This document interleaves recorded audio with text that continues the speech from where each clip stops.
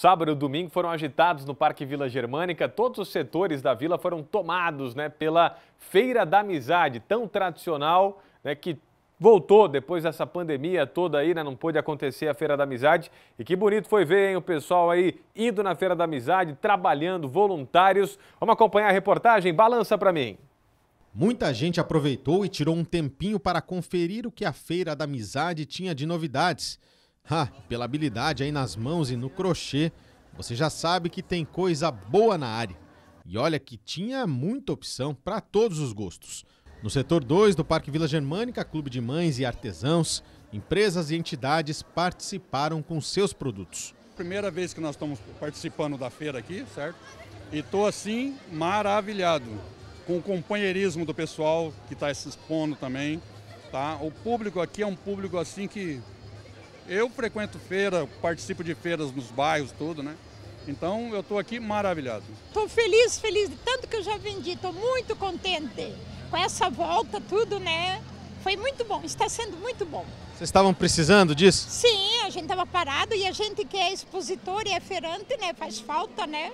E tinha muita gente com saudade de toda essa movimentação aqui, até porque a Feira da Amizade já estava há dois anos sem acontecer por causa da pandemia do coronavírus. Mas a 32ª edição trouxe muita novidade para os visitantes, como por exemplo a exposição de orquídeas e plantas ornamentais. E como tinha coisa bonita na feira, foram 210 expositores, cerca de 20 mil pessoas visitaram o evento. A feira sempre vem na Feira da Amizade, é ótimo assim. Os produtos são bons, de qualidade. Lá os brechó também é muito bom. Tava com saudade, dois anos sem acontecer? Sim, sim, eu venho em todos. As últimas que eu vi tinha bem pouca coisa, agora tá assim uma maravilha, tá bem cheio. Gostei muito, tá maravilhoso. E para ficar melhor ainda tinha brechó, pinhão e quentão nesse friozinho, com direito a apresentações culturais durante toda a feira.